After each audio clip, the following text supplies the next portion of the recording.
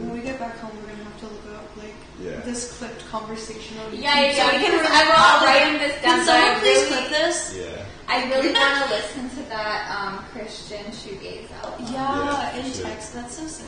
Yeah. Oh yeah.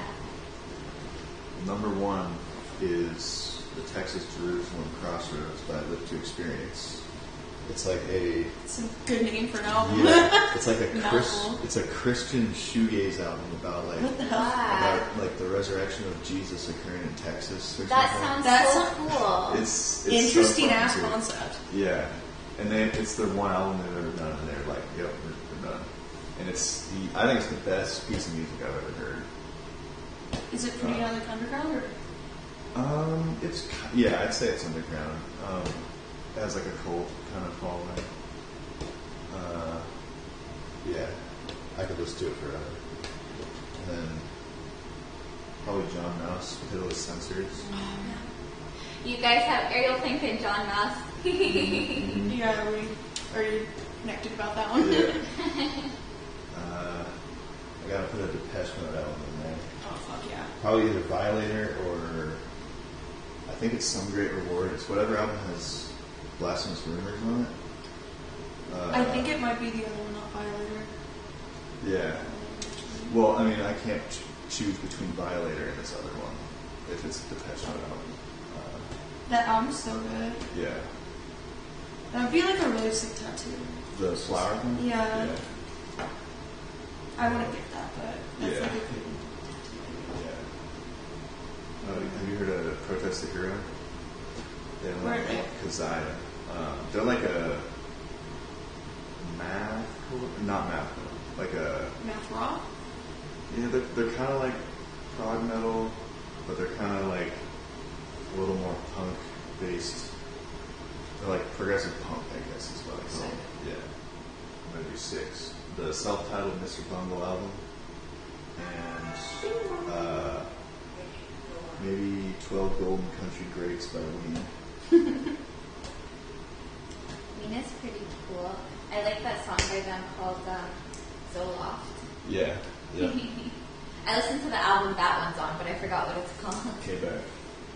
Yeah. Yeah. Quebec. Yeah, yeah. You can say Quebec, that's how everyone says Do you. Right, have a top five favorite albums, John? No. John doesn't like music, remember?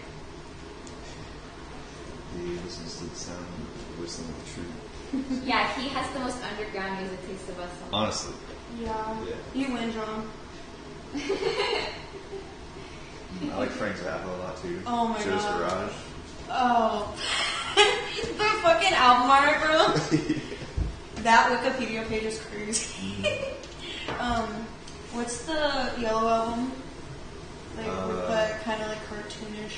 Weasels Rip My Flesh. Yes. Yep. That's a fucking crazy album. Yep. Um, my ex that was obsessed with prog had that as a T-shirt. Yeah. That'd be a cool shirt. Yeah, Um, that album's really good. I also like just like basic prog rock, like Pink Floyd.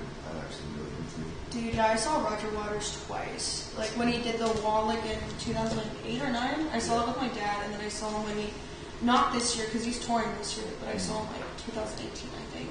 Yeah. Um, that shit's insane. Like he just does a, such good performance of everything, and like just all the fake guns and stuff. I mean, there's only Yeah. like one person that can do that shit. Like he's Yeah. been doing it for so many years, so you can't stop him. Red by King Crimson. Oh, I love classic. King Crimson. Starless might be one of the best songs ever. Do you know what NWA stands for? Mm-hmm. Say it. What does it stand for? No, I'm asking you. I don't know. Can you tell me? I don't know. Oh. You sure? Yeah. Sounds like you know. I might need a lesson. What is it? You know that? Yeah, John. What does it mean? No, I Means heard. uh, the N-word with attitude. What's the end? Oh, okay. What's the end? Yeah, which N word? Naughty. There's this really good